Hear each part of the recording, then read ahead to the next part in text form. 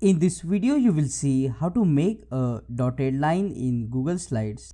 First click on the insert tab and under the line select the first option line.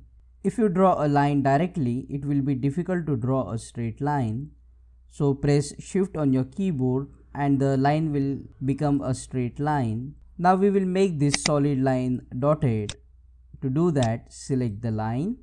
You will see here the option to make this solid line dotted. Just click on it and select the option you like. So this is a dotted line. But this line is a very thin line so we will select it and increase its thickness to 4 points for example or 8 points. And if you want to change the color of this line you can click on the pencil icon and select any color. You can also modify this line again by just clicking on the other options available here.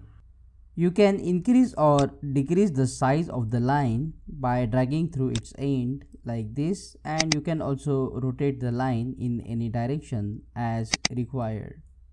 Now check out these useful videos related to Google Slides. Comment below and let me know if this video solved your problem. And don't forget to subscribe and press the bell icon if you want to learn more tips and tricks quickly like this. Thank you.